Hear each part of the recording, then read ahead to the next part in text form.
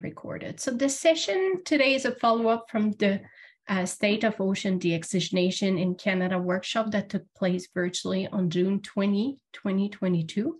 And that was organized by MEOPAR ONC funded project Oxynet. Um, the objective of that workshop was to provide an opportunity for members of the Canadian marine scientific community to identify what is currently known about ocean deoxygenation in Canada and discuss challenges in relation to deoxygenation research in Canadian water. The workshop, a workshop summary was produced and distributed to the workshop attendees and was made available to you uh, prior to today's meeting. Today's workshop is a follow-up from this first workshop. So we'll provide an overview of the current situation in Canada, provide an overview and some support to the um, um, ocean deoxygenation community in Canada to get organized and start to work in a coordinated way at the national level. Um, I'm going to let uh, Dr. Gwénaëlle Chaillou take on the lead of this session. Uh, Dr. Chaillou is professor at Institut des Sciences de la Mer de Rimouski. She is the Canada's chairs holder in Géochimie des hydro,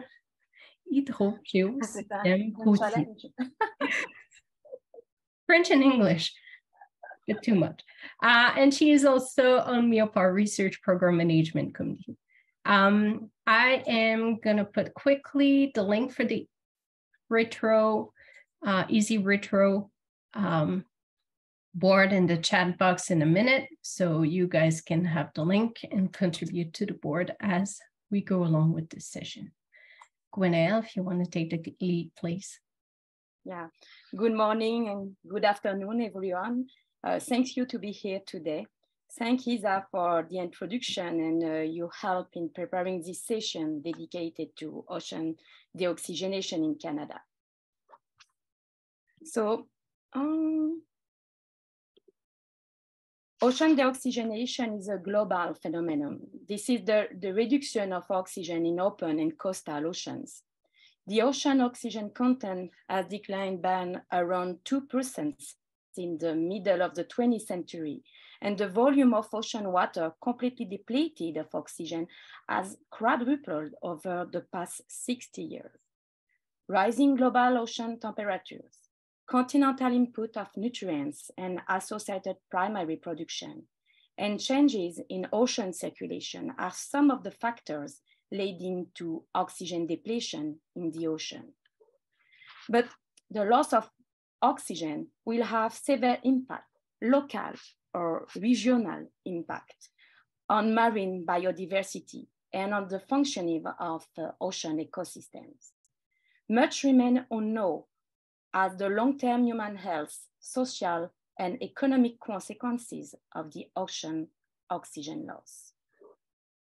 So what is currently happening in Canada. Today, we would like to share with you the state of uh, deoxygenation in our ocean from the East Coast to the West Coast. Several of us have already met last June in a workshop organized in the Oxynet project framework. We had evoked the need to organize and structure a group to share information, results, and practices, and the need to disseminate and alert Canadians to this issue. So we will first look at what is happening at the international uh, with the professor uh, Marie-Laure Grégoire. She's the co-president of an UNESCO endorsed program, the GONE program. And after Marie-Laure's presentation, we will go in, uh, into smaller groups to discuss setting up a community of practice on deoxygenation in Canada or a sort of community of practice. We invite you to share your ideas with us uh, during this time. But if you need more time, and because we are very curious at, uh, of what do you think, and we want to respond as much as possible to the need, to our need, uh, we invite you to share your idea as an easy retro board by following this link. And I suppose uh, you have the link also in an email this month. You received the link this morning in an email and in a chat. So, and without further ado, I will invite Mathilde to present the situation in the Saint-Laurent system.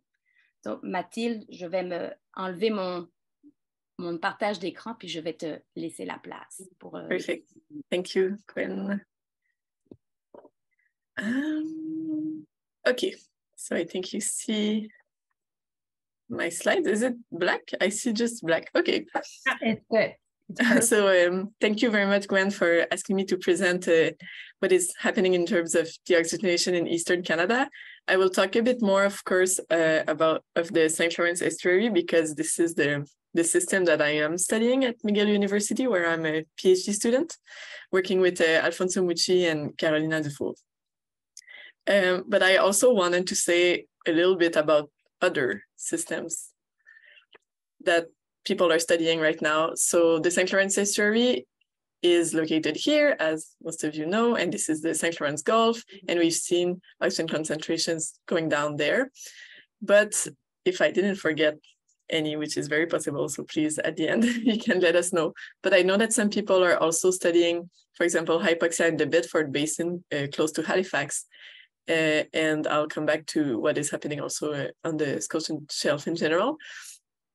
And also some people at Dalhousie are studying oxygen uptake in the Labrador Sea, which is not necessarily, um, it's different because it's not interesting in terms of very low oxygen concentrations that would have a strong impact now, but more in terms of understanding the drivers of uh, oxygen absorption by, by the ocean. So about the St. Lawrence estuary, I'm showing here a time series that goes from the 1930s to this year, last year actually, uh, and I'm showing the oxygen concentrations in micromole per kilo. And this is the combination of uh, data that was taken by many people, and just the recent data was uh, observed by these three teams here. And what we can see is that it's been going down, but also that we observed a really dramatic decline uh, in 2020 and 2021 compared to a relatively stable uh, concentration that we had been observing in the last two decades. Um, so, uh, so at this point, we reach values of 35 micromole per kilo. So this is very, very low, below the hypoxic values that we already had. And so we expect very strong consequences, consequences on the ecosystems. And this is accompanied also by an increase in the uh, extent, the aerial extent of the hypoxic zone. As you can see here, this is just a, like a, an estimate, but when it was about, so, so we had about 1300 uh, kilometers square in the early like 2000 or in late 1990s, we now have almost 10 times more um, kilometer square uh, of hypoxic uh, hypoxic waters. And it's just to show a bit, let's say like the orange is what we had before and now we we extended into the Gulf and even also other regions here because we have some um, channels and at the end of these channels we're starting to see hypoxia also in the other channels in the St. Lawrence estuary. So what is causing this? Maybe I guess like most of people here know, but just for the other ones, just like a quick re recap, uh, there are two things that are happening. The first one is that we have a local effect, uh, which is eutrophication. So because of all the nutrient export to the St. Lawrence River and the other rivers on the different coasts of the St. Lawrence, um, we have uh, algae blooms, and then this leads to eutrophication of the bottom waters. And we also have an increase in the water temperature, which will increase the biological activity and also deplete oxygen. And the second thing that is happening is more of an external cause related to to the climate.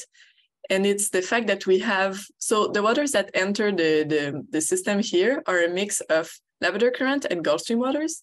And the Labrador current waters are cold and they are well oxygenated, while the Gulf Stream waters are warmer and they can hold less oxygen. So if we have more Gulf Stream waters uh, to the years, we have lower oxygen concentrations. And this is what we are observing. And here I'm showing a transect um, along that pink line here, along the, the Laurentian channel in 2021 of the amount, the fraction of Labrador current waters and Gulf Stream waters.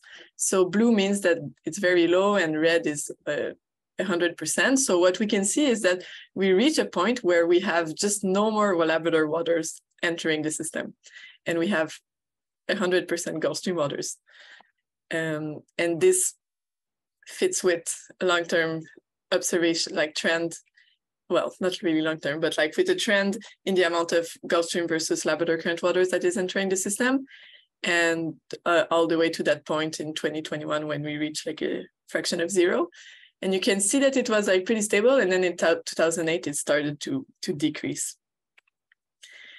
And okay, so what's interesting actually is that the, the causes in the, the oxygen decline change with time. So here the pink bar is showing the observed deoxygenation. And on the uh, right, you have the different causes that are contributing to this change. And in from 1970 to late 1990s, most of the um, of the decline was due to these like uh, green and orange um, bars, which are uh, related to eutrophication or the increase in water temperature locally, or like so biogeochemical process. So all the way to, to early 2000s, it was eutrophication and biogeochemical changes that were causing the, the decline. But more recently, so from 2008, now it's the blue, which is the this change in the ratio of Gulf Stream and Labrador current waters, which is dominating. So it's really changes in the circulation in the North Atlantic that are driving this change. All right, so this is a bit of an overview and like the same also for 2018 to, to, to 2021, which is like the new results. It's really the what is happening in the North Atlantic that is driving the change. So this is a bit the, the state for the St. Lawrence estuary. But I also wanted to say that what is maybe like for the future in terms of studying uh, deoxygenation um, in this area. So there is a new uh, coupled physical biogeochemical model that is uh, now used at DFO, uh, mainly by Diane Lavoie. And you can see the, the paper that they published where they present the, the, the model. And I think now they are starting to, to analyze it more and more. So that will be very interesting. And uh, I believe also that uh, at Dalhousie University, Katja Fennel's group, they have also a, a biogeochemical model of about the same area, but extending, extending a bit more offshore. They're looking mostly at carbon, I think, but uh, also there are possibilities to look at oxygen. So this is for the modeling side. And in terms of observations, um, I just wrote here that my supervisor is retiring, so we'll need new people to continue to look at, to, to do observations. I didn't mention, okay, so like what is still going on, but Gwénaëlle is going at sea to measure these things. Um, and I just also wanted to mention the T-REX experiment, which is not directly looking at oxygen, but it's kind of related to it because what they did is they released tracers in the St. Lawrence system, and they are going to go back. Well, they already went back, but they I guess they're going to go again and try to see how long it takes for the tracer to go to different locations and to understand better the circulation of the area. And this is by a team led by Doug Wallace at Dalhousie University for the deep part of the experiment. And there is another part of the experiment that is looking at the shallow waters, but this is less related to oxygen, and this is at UQAR. And I also, so yes, and finally, uh, I mentioned it already at, at, the beginning, but there is a team at Dalhousie University, and um, Dariia Atamanchuk is really um, studying that. It's and it's more about oxygen uptake in the Labrador Sea, and the the um, the purpose of all of this is to say that the ocean models currently, like the the global climate models, do not reproduce the oxygen trends that we observe. They really underestimate the trends. And so it's really important to understand what processes are not resolved in these models and what processes we are missing. That's it.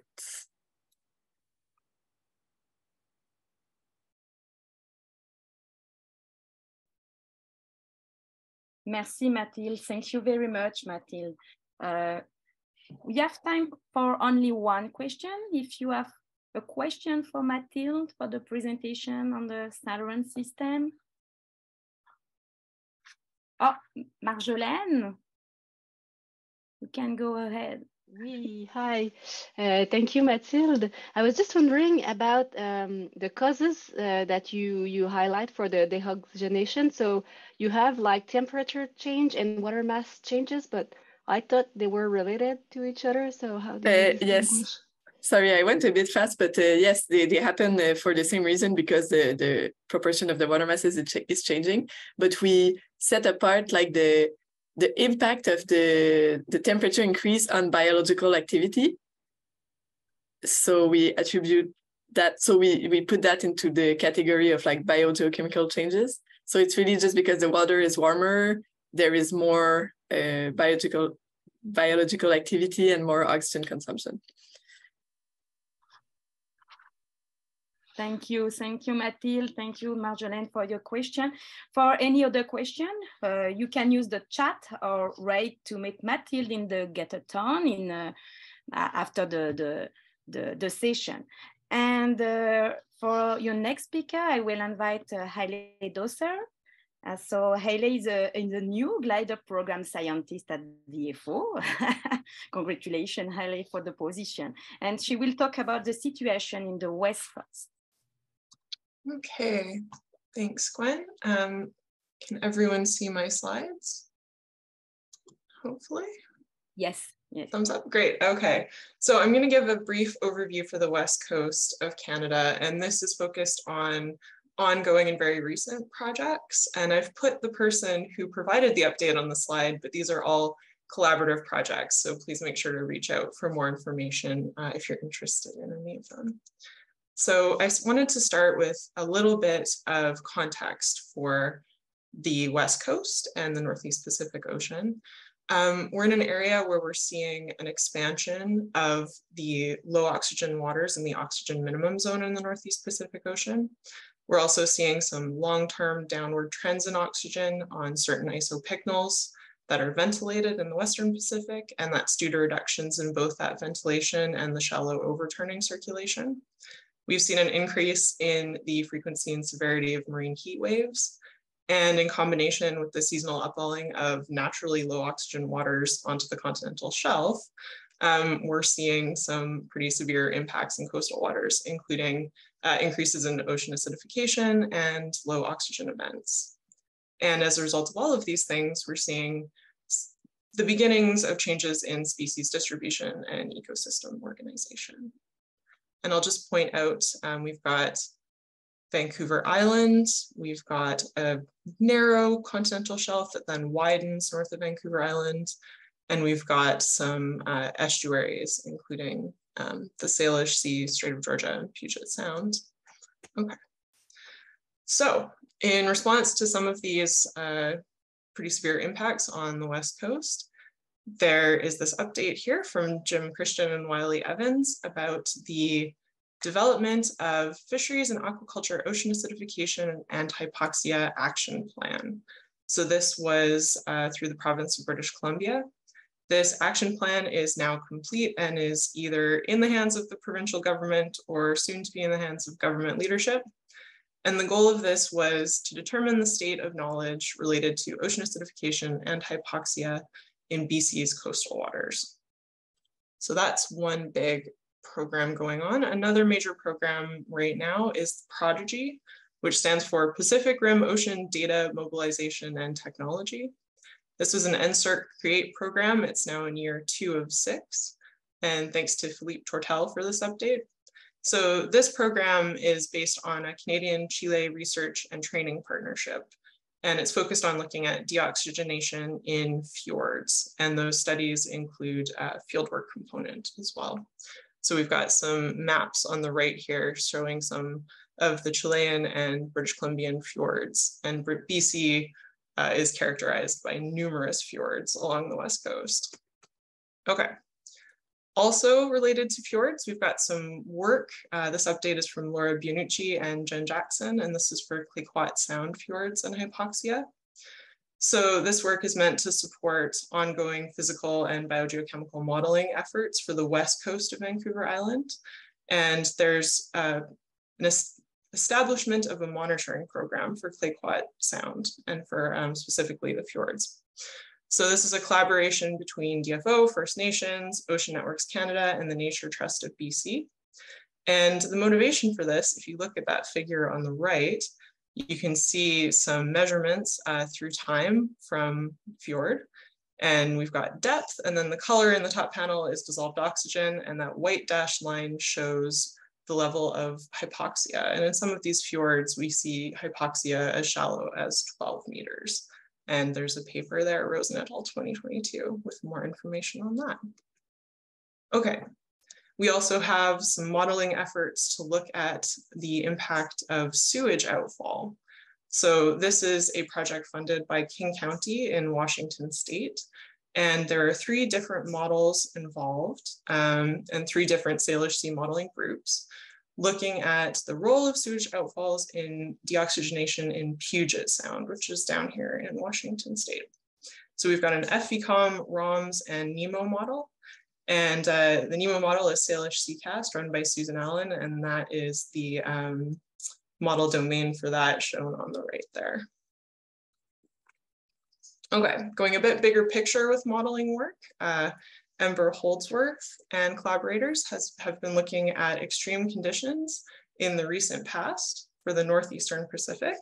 And that's using this NEMO model, NEMO version 3.6. So that model domain is shown on the right there. And it includes biogeochemistry and tides and is quite high resolution.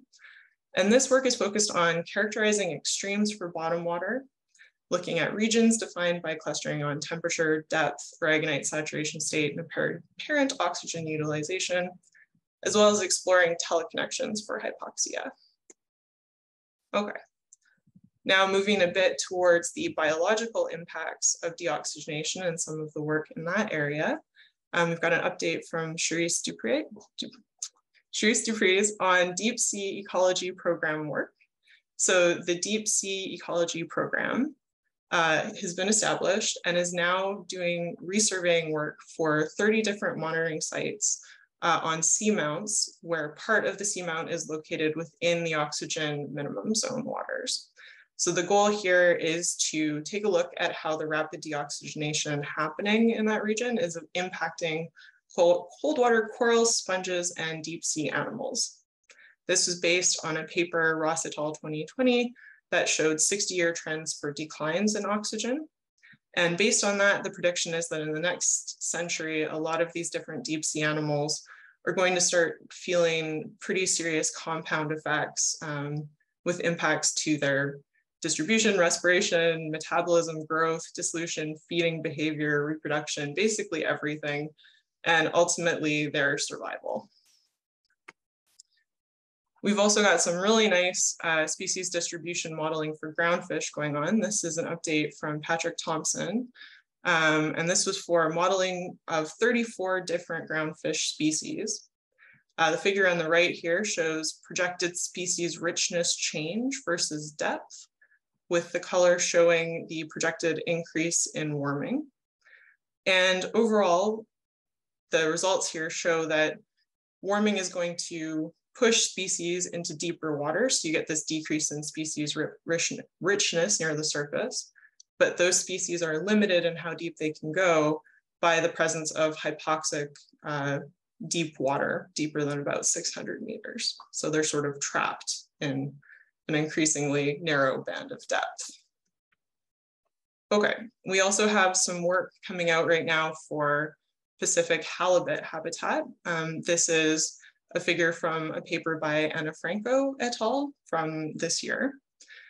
And this shows future projections of ocean deoxygenation and warming that are expected to reduce the suitable habitat available for Pacific halibut, um, with an overall shift northward of about five degrees in what would be considered suitable habitat.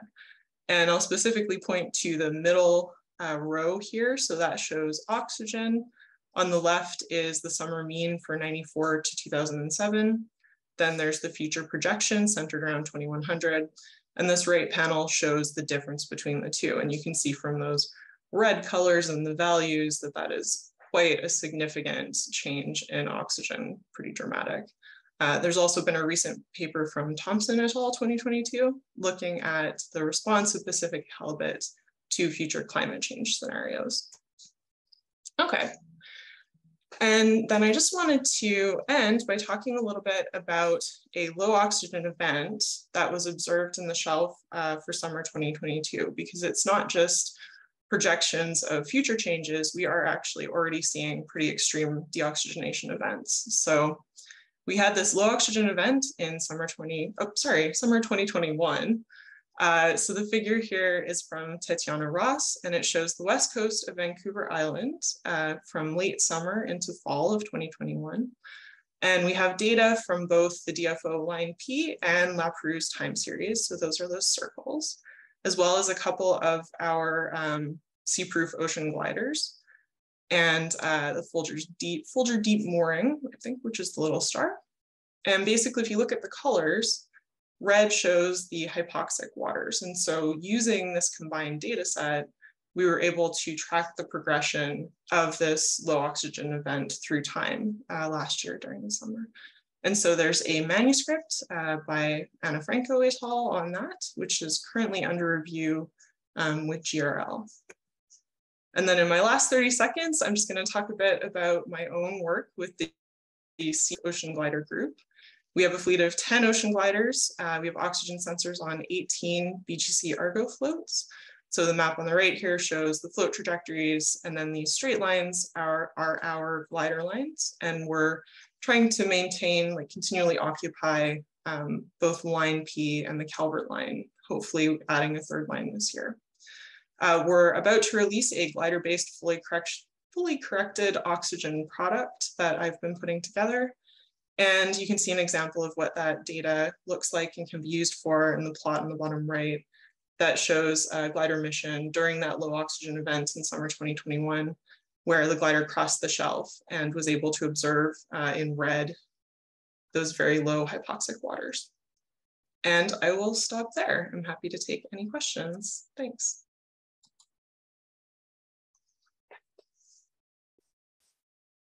Thank you, Ale.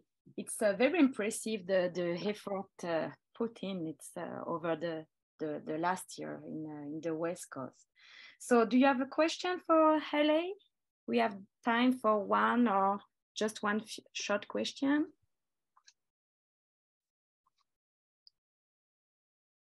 Oh, Mathilde.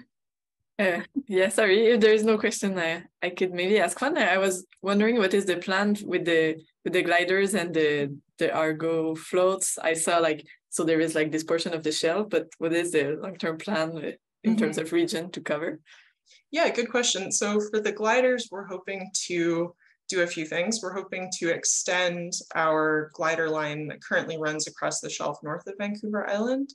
And we want to extend that um, fully offshore uh, into like the deep open ocean waters. And then we're also hoping to add another glider line just so we get kind of evenly spaced transects, uh, both across the shelf and then out into the open ocean. And uh, I'm personally interested in that because I think it'll provide the opportunity to get an early warning for some of these extreme events.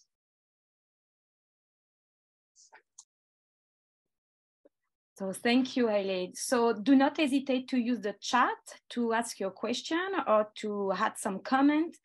And uh, yes, we will go ahead with the, our next speaker. And we are very pleased to uh, Professor Marie-Laure Grégoire today. Marie-Laure is the co-president of the GONE program. She's a professor at uh, the Uni L'Université de Liège at the Department of Atmospheric Geography and Oceanography. So, um, bonjour Marie-Laure, oui, on voit ton, bien ton, ton écran. Je te vois pas par contre. Euh, si, j'ai allumé la caméra. Ah, super. Je te laisse aller. Merci, Marila. Okay, so thank you, Gwenarel. Thank you for inviting me uh, today to speak uh, at the MEOPAR Networks. Uh, so I'm Marie-Laure Grégoire from the Liège University in Belgium, and I am currently co-chairing the Global Ocean Oxygen Network from IOC uh, UNESCO. And, and I'm also the co-PI of the Global Ocean Oxygen Decade uh, program uh, so that's a program that has been endorsed by the UN Decade. So I'm co-chairing the GONE and the GOOD. Uh, GOOD is the program with Andreas Oschlies from GeoMar, and uh, Kirsten Isensee is the IOC UNESCO uh, project officer. So first, just a few words about the GONE network. So GONE is an international network of scientists that has been launched in 2016 Uh, and so here you can see uh, most the members of the network, not all of them, but a large part of them. And so here you can see Andreas, you can see myself, sorry, and you can see so all the people uh, yeah, that you probably know. Uh, so this GO2NE group, so the Global Ocean Oxygen Network, we have submitted a program on ocean deoxygenation in the frame of the UN Decade uh, call for program. And so we had been endorsed. And so we have this Global Ocean Oxygen Decade program uh, that uh, has the aim to build a community around ocean deoxygenation. So it's really to, to build a network of scientists with different projects and also with stakeholders. So first I would briefly, before speaking about good, because here in my talk, what I would like to uh, present to you is what are the main uh, scientific axes that we have in good. But before going there, I would like just to make an overview of ocean deoxygenation very briefly, because I know that you already know a lot about, about ocean deoxygenation.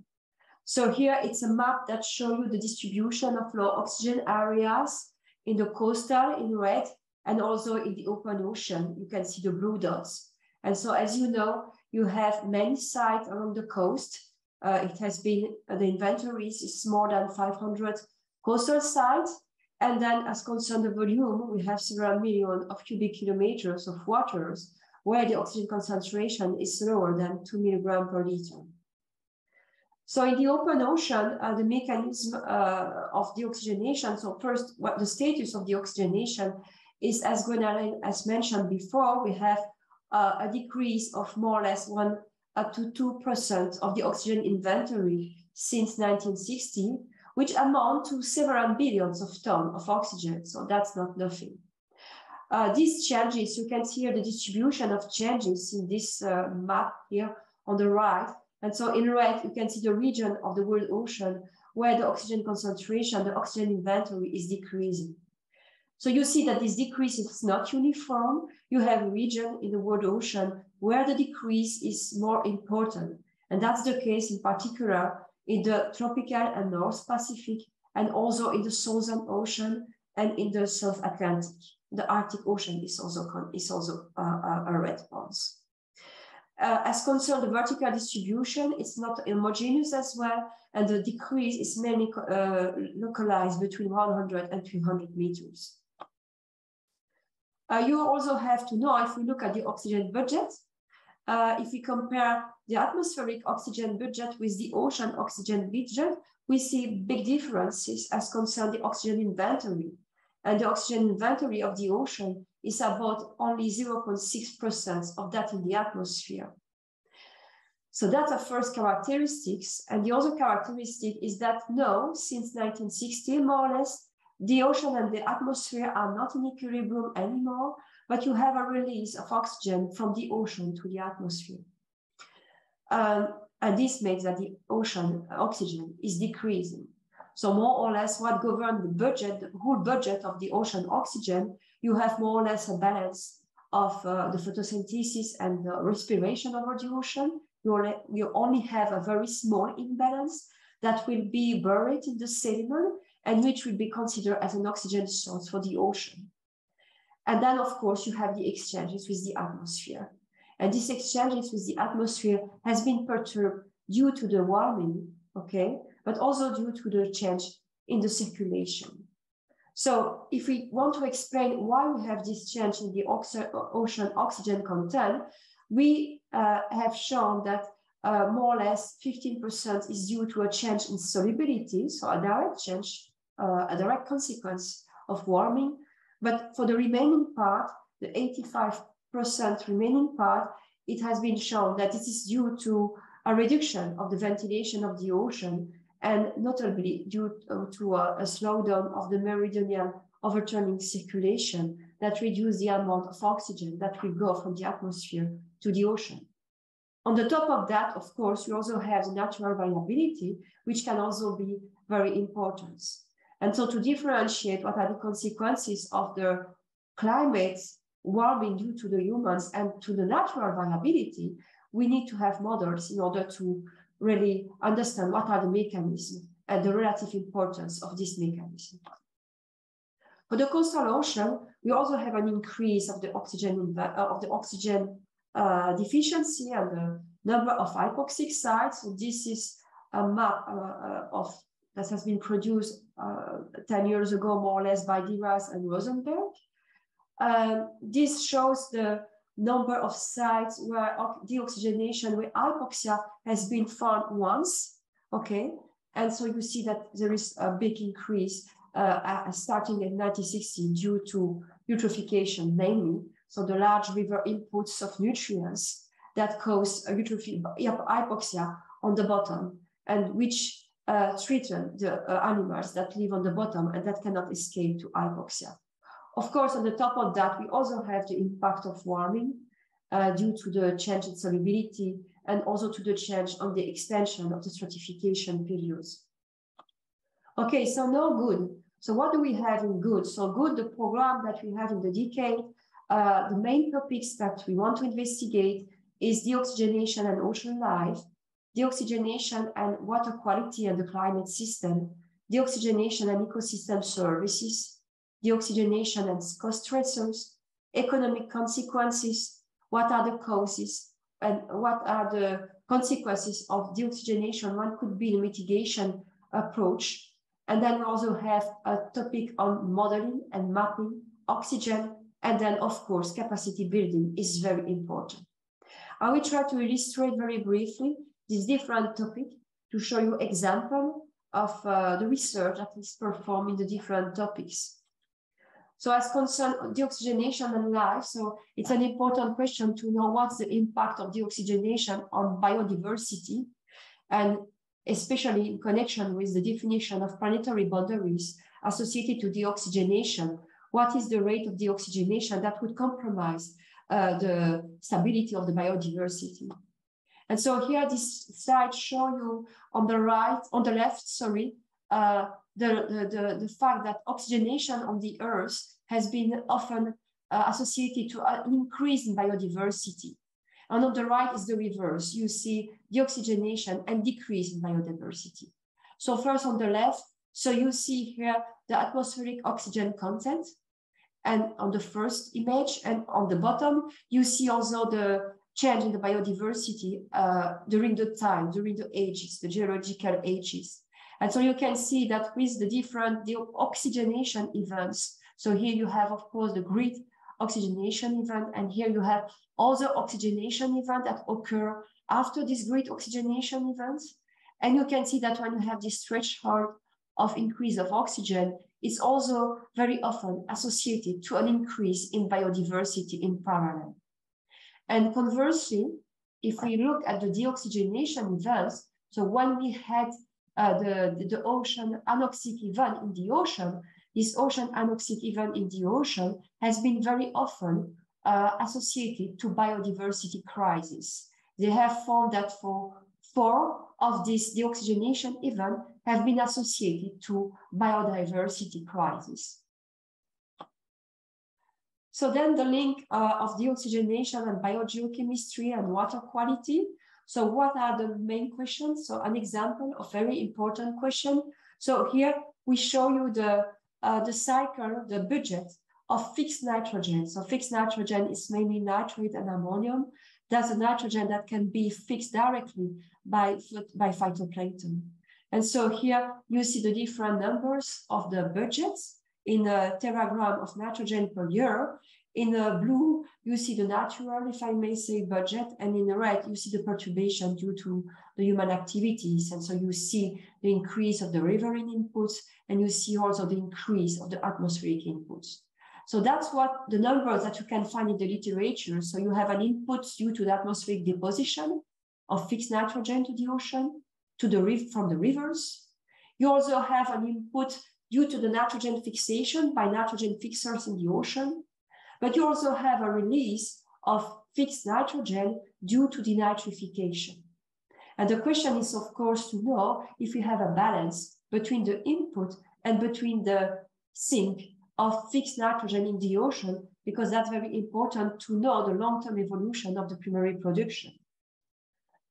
Okay, and the question is very pertinent because we have the oxygenation, and we know that if we have the oxygenation, we will have an increase in the denitrification. So you see here the big uncertainty that we have the estimation of the global denitrification. Okay, and so if you have an increase of the OMZ uh, oxygen minimum zone, you may have an increase of this denitrification. So you can have a loss of reactive nitrogen, and you can know, you do not know, we still do not know what could be the impact on primary production and on the balance of the rate field nitrogen to phosphorus ratio. So the question is to know, do we have an, a balance between the nitrogen fixation and between the denitrification? Can we have a balance in order to stabilize the nitrogen cycle? We know, for instance, that the nitrogen fixation can be increased if we have high amount of phosphorus and iron. And we also know that in region where we have the oxygenation, we have a promotion of release of nitrogen and phosphorus. And so deoxygenation on one hand can promote the release of phosphorus and iron and then can promote nitrogen fixation, but on the other hand, can also promote the increase of the nitrification. And so the question is really to know, we will have a balance between the two if OMZ are expanding? Then I would like to go to the mapping and modeling of the oxygenation. And I would like to refer to a community paper that we have published recently and this paper has been published in Frontiers almost one year ago.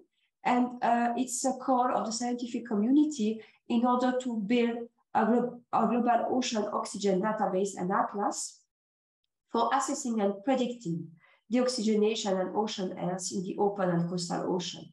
So that's an initiative that we try to promote among the scientific community, and you are mostly welcome to contribute in order to, build, to build a unique database of ocean oxygen data, and from that to build, to build atlas with a map of the oxygen concentration. We have been uh, we have a project, so not a program, a project that has been endorsed, which target this development of this go to that uh, uh, database and atlas. So the idea of this go to that is really to have uh, single entry points for downloading all the data on oxygen. Winkler, CTD, Argo, Glider, Mooring, etc., all of them would be available for one single entry points, point and being sure that all these data have been flagged with the same transparent quality flagging system as have been submitted to the same quality control procedure, which so far is not the case. You still have an heterogeneous quality control procedure and quality flagging which complicate the life of the scientists when we want to download the oxygen data. The idea, of course, is to have this data available not only for the open ocean, but also for the coastal ocean. The coastal ocean is very important because a lot of data remain in local database and are not delivered to the central database. And then from all this data, the idea would be to map different products like the SOCAT product, if you know, for CO2, it would be the same for oxygen. And so here you see the go to that one, two, three, and this different level of product is just due to the different type of data that you will merge in the atlas, in the mapping. So for instance, this one, the go to that one will only be based on Winkler. The other one would merge Winkler and CTD, and then we cross CTD, and Argo, etc. So that's the different level that we would like to have. And so this database and atlas would also be interacting with a, a community of users. That's really the spirit of the decades. Then uh, ecosystem services, the oxygenation and ecosystem services. So you know probably that uh, the oxygenation can impact, for instance, corals. And you have here the work by Andrew Altieri. And you see that a picture of coral in a well-oxygenated environment, in a poor oxygenated environment. And you can also see here the coral reef in, a, in, a, in, in mauve here per region. And you have in superposition of the hypoxia site. That it's the map that I showed you before, prepared by Diaz and Rosenberg. And you can see that we have overlapping with in some region, which, which uh, threaten uh, the preservation of the corals and of biodiversity. Multiple stressors, so we are really interacting with the a similar program on ocean acidification in the frame of goods. It's uh, we have interaction with the OARS program, which is uh, ocean acidification, because that's very important. We are already in a multiple stressor world, and so here you have a map that shows the projection in the 8.5 scenario at the, at the end of the uh, is the change uh, uh, of uh, at the end of this century compared to the 1990s.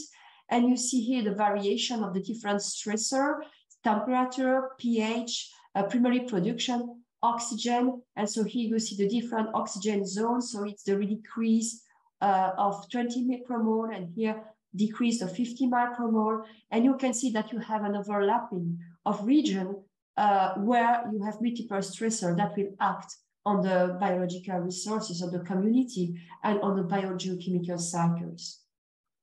So this multiple stressor is, really important it's really the approach that we have to follow. So what could be the uh, the synergetic uh, uh, the, the, or the antagonist, what could be the, the impact of this multiple stressor, warming, deoxygenation, acidification, and change of the flux of uh, food to the benthic system, for instance.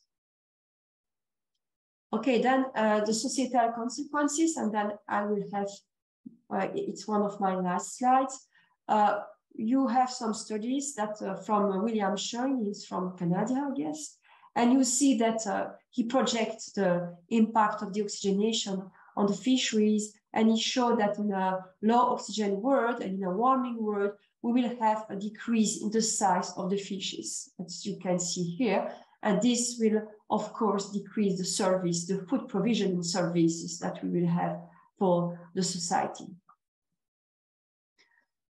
Okay, so then we also, I would like also to raise your attention on the uh, uh, uh, uh report that has been published recently, uh, two years ago, maybe already three years ago, by IUCN about ocean deoxygenation.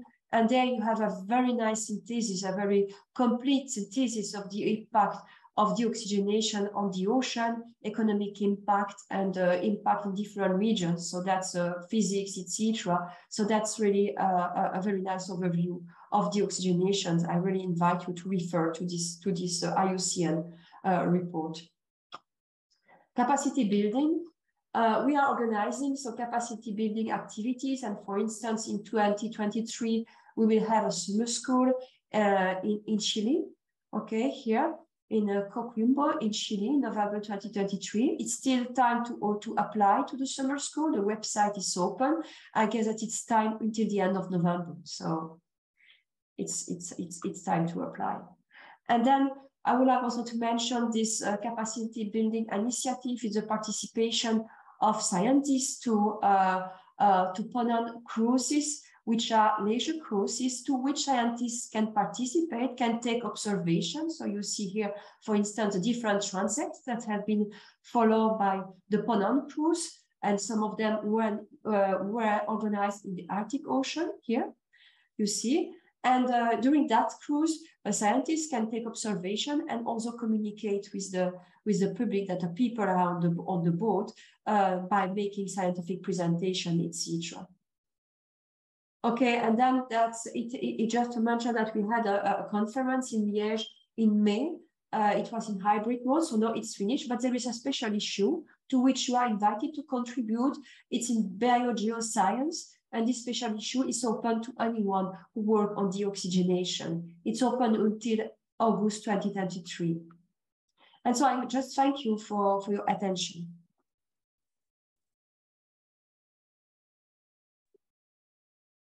Merci, Marie-Laure.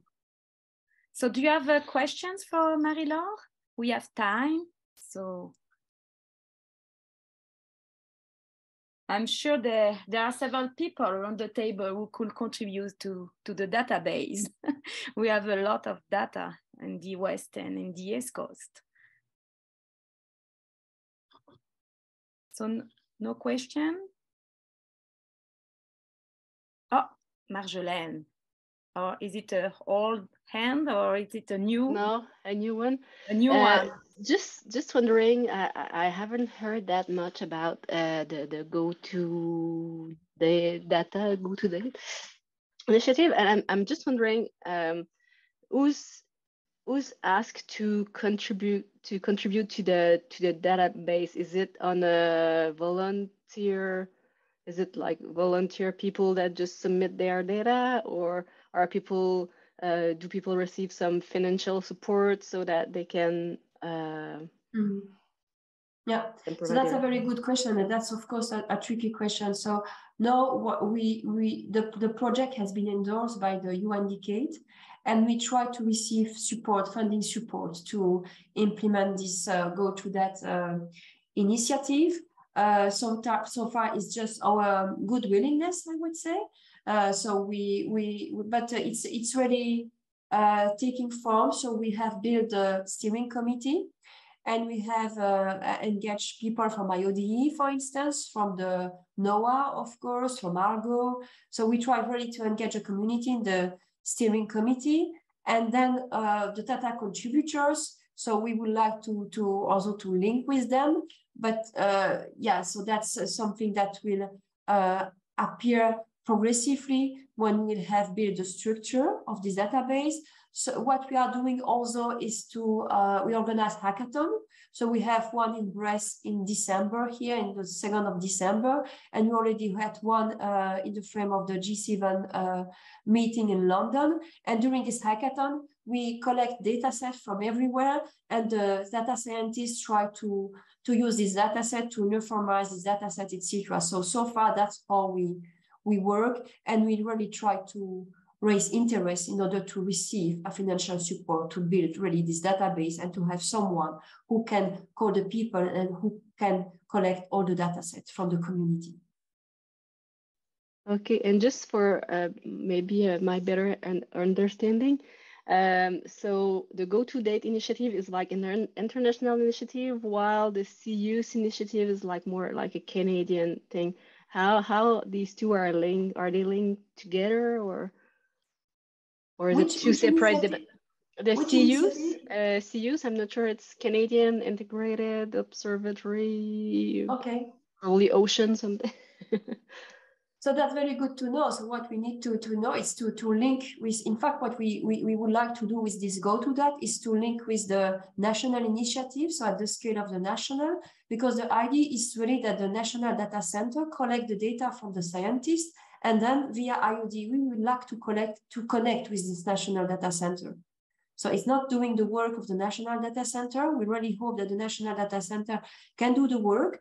And we would like to agree uh, with the scientific community on a uniform data quality control and flagging to communicate that to the national data center for allowing them to implement that and to receive the data from the scientists and then to, to go to go to that. It's different levels, but uh, really hope that it can work like that. So it's uh, but first, what we have to do is to, we have built this uh, go to that steering committee. If you know someone in Canada, I'm not sure that we have someone from Canada, but if you know someone who is really implied in this data quality control and flagging procedure, we can link with this person and to invite this person in the steering committee, because the idea afterwards would be ready to uh, to agree on a common uh, way of working and then to to recommend this way of working to the National Data Center afterwards. Yes. Thank you. Hello. Oh, you are. There we go. Uh, just a quick related question. Um, for the GO2DAT database, um, as the process continues, is there some way that I can keep up to date with what's going on or get updates about it happening? Yeah, so yes, so we have different mailing lists, and there is one where um, where you, you know we have the good newsletter. So you can also the good newsletter. You can also ask to be to receive this newsletter. It's uh, each three months, and we receive the news from Good. Uh, and in this good news, you will have information about this go to that project. Uh, but I, I, have to say, I know that there is this good new newsletters. I'm not sure that we'll have the same kind of uh, newsletter for the go to that, it would be uh, embedded into the good newsletter. Okay. So if you're interested, just yeah, so you can go on the good website and you can ask to be uh, to receive this newsletter. If not, you can just send me an email and I will put you into contact with the with the people at IOC who is taking care of the newsletter. Okay, perfect. Thank you. Thank you. Do you have other question for Marie-Laure? And on the GO2NE and or God project in and the UNESCO support activities? No, so I understand, Marie-Laure, if we have questions, we can uh, ask you, reach you on by email. And, uh, yeah, sure. Yeah. Je, je, te remercie beaucoup. Je sais qu'il est 20 heures passées en Belgique, alors euh, on va non, te 19 heures. 19 ouais, ça va. Merci ça beaucoup. Il n'y a pas de souci. Avec plaisir. Eh ben, bonne réunion pour la suite alors. Hein? Voilà. Merci Au revoir. Au revoir à tous. Bonne réunion. Bye. So awesome. So I'll let you lead that, Gwénaëlle. Thank you. So welcome back. so we have a, a, few minutes for a quick tour of uh, what happened and what the discussion of, in uh, each breakout room. Uh, who wants to go first? But how many how many people? We are only. Oh, okay. We're only 14 people and we end up with only two breakout rooms. Um, and, and that's fine. We were expecting to have people leaving the session. Um, so yeah, maybe going by room, breakout room one versus breakout room two. What's the major outcome of Okay, I can go ahead about uh, on the discussion we we had in our in our room. Um, we talk about uh, the how to join the, the steering committee of the GO2DAT we think it's important at the international level that someone from canada uh, probably someone from dfo uh, can go there uh, or someone from the CIOOS organization just to be sure that uh, we have a, uh, a representation and we can also coordinate the data formatting in Canada in the in the same um, way that they are doing um, at the international level. So um, I think it's important for the next steps that uh, I, I I don't know who, but maybe it's important for us that someone uh, go uh, in in the steering committee and be our porte-parole for, for the group. I think it's important. So we think we talk about that. And um, Doug come and talk about the mitigation. so we, we have a, a, a, a, discussion and a reflection, okay, what can, can be done to to to decrease the the, the impact of uh, the oxygen depletion but we were not sure about the due to the, the, the size of the system the scale of our system uh, what can be done. And uh, we asked Amber about the, the how it works in the DFO uh, because, because we were not sure, but Marjolaine is here too, so maybe she can help us to understand how and how do you work in the DFO if you can if do you already have a, a, a group to talk about biogeochemistry so we understand there is a pan-canadian uh, coordination about uh, uh, the, the modelization in, mm -hmm. including the east uh, atlantic uh, pacific but it's depending of person in place so we conclude that we have place to develop something uh, that can join um, uh, academics and uh, federal researcher, and we have the place to develop something as we want in our image and as we we need. So maybe Amber, Mathilde, Bill, and Taylor. We, do you have something uh, I just uh, highlight. We did. There were some questions about uh, the glider work that oh. Hayley talked about for the West Coast and what that looks like on the East Coast, and I wasn't really sure, and I thought maybe Hayley might have input or uh, Tetjana. Mm. Yeah, I can say a few words, and then Tetjana can can add. Um, so we do have um, glider groups on the East Coast, and also out of St. John's, Newfoundland. And um, they have, I believe, I'm not sure if it's repeat glider lines in the same way that we have glider lines, but they have areas that they are surveying. Yes, they have repeat glider way. lines. They have yeah. two main ones. Okay, yeah. And they have what a fleet of eight gliders, I think, something like that. And their data goes back a bit further than ours, actually. So ours goes back to 2019 and they have data going back a bit further. They're right in the process now of looking into doing the processing and correction for the oxygen data. So those data are not quite ready to release, but they're working on it right now. So. And is this data on the Labrador Shelf, I guess? Oh, that's a good question. Like, or is it in the Gulf? I don't there's two lines, Halifax line and Bonavista line. It, okay. It's yeah. integrated into the AZMP, so they're following okay. AZMP lines. Well, not in hypoxic regions. uh, could I could I just add something uh, quickly? Uh, so during the TReX uh, experiment, we, uh, we, actually had both the Dalhousie group and the, the Memorial group ran gliders in the Gulf while we were at sea on the Coriolis. So. We've got actually probably a pretty exceptional data set uh, in the Gulf, uh, when we surveyed the whole Gulf, all the way all the way between well almost Cabot Strait and uh, and uh, and Rimouski. Uh, and gliders were working um, in the Esquiman Channel and also in southern Laurentian Channel. So um, we're going to be looking at those data pretty soon. That's unusual to have them running there, but uh, Brad and uh, Nikolai uh, deliberately uh, put the the gliders in for that.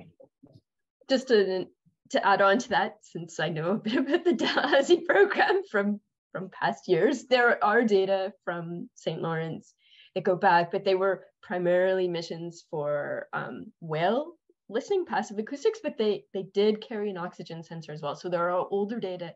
But when I was saying there's two lines, I mean there are two regularly maintained lines. There are data um, that were sort of one-off experiments, but there are plenty of data that could be mined um, from the Dalhousie program, from the DFO program, from the Memorial program. And I just want to add that we also have the Viking buoys in the St. Lawrence, which uh, collect some data on um, on the oxygen. So yeah, we're not within the AZMP. We're like the only a region that are that is not focusing on the glider, but on the Viking buoys instead. So I guess it depends on who's leading that thing, but we also have a way to collect data. We have this uh, Viking buoy at Rimouski Station, so where we have low oxygen concentration. So this is something that can be used. So, so I understand there is a lot of uh, individual action, uh, and we that we can merge together just to be uh, stronger and to be uh, uh, together at the national level. I think it's important uh, for us to organize and to be to have a structure and to know each other. We, I think it's important if we want to develop something, we have to know who is uh, doing what and uh, who wants to be included in the group. So I don't know if MEOPAR will will have another. Uh, we will uh, know that in a in few months, I think, Doug. Yeah, but uh, if we if we can uh, have the we will have the opportunity maybe to to had some help, some support to to organize a group, maybe a community of practice of something who can looks like a community of practice. Um, and I think it's important for us to to have someone at the international level too. It's important to have a, a place uh, where we can uh, be there too, all together, uh, because the the Canada is very uh, very uh, big, so it's uh, yeah I, I, and we we know that we have some problem and we didn't talk about the arctic ocean now but i think uh, amber talked just a little bit in the room in the breakout room about the situation or what we can do in the arctic but we will have the the, the problem or the issue probably in uh, in few uh, years in the arctic too. Aile, and i saw that doug want to to talk too I just had a quick question about something you were saying about needing to get organized and uh, MEOPAR's future funding. One of the major outcomes of our breakout room was talking about the possibility of combining a deoxygenation community with the existing OA community of practice. But one thing that was seen as pretty important was that we would bring um, clear intent and ideally some of our own funding as a community to that effort. And so I was wondering if MEOPAR is refunded, would there be the potential for expanded funding for a joint community of practice? Yeah, I can speak to that, and I'm trying to see if uh, if Fanny's uh, here. No, she's not. Okay, so um, yeah, so what we wrote into the proposal is that uh, we will call for new proposals for communities of practice, uh, and they can, can propose to continue the same way, Hayley, or change their direction, broaden, narrow their scope. Uh, anything is open. I should say, however, I, I think you know there's probably going to be a push also for a carbon dioxide removal community of practice. I suspect that's going to happen. So, you know, you could imagine the OA one going that way or going the uh, uh, deoxygenation way. Uh, but if it goes both ways at once, it might just become too big, you know. but yes, there'll be opportunity, assuming we're funded, please both cross your fingers. Assuming MEOPAR is funded, uh, there will be options options to propose new ones or expand or change the direction of existing ones. Yeah. Thank you, Doug. M Mathilde? Um, sorry, maybe it's on something else. So if if people other have other things to say about that, I can talk after. No, I, I think you can go ahead. Okay. uh, okay. Well, I was also uh, gonna ask about carbon, like the carbon community and carbon absorption by the ocean, if there, if it would be better to to do things together. Because I noticed that today some people are not here, like Katja Fennel and her group, but they are not working directly on oxygen, but using the same models and tools that we we could be also interested in.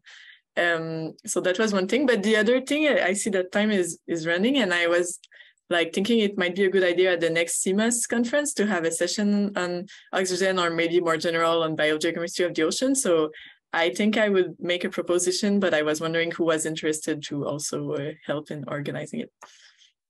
Oh yes, it's a very good idea, and we need to to see it, uh, to see us, to to be together in presence. I, I think it's essential to to talk and to to know each other. And I think the the the, the next CMOS is it in in in presence in presence or is, is it online? It will be hybrid. Hybrid, okay.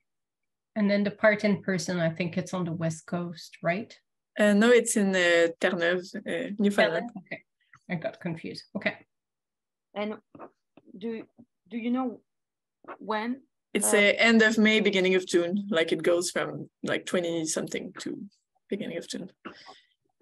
Let me double check. That's a very good idea though, Mathilde. Very good idea. Okay. Well, if some people uh, want to help, like uh, email me maybe. I'll put something together. So I think it, it's the end of the, the session and uh, I would like to thank all of you uh, to be present and to for the discussion and uh, the the AD you you share with us. So Isa, je vais te laisser la parole pour les, les remarques finales.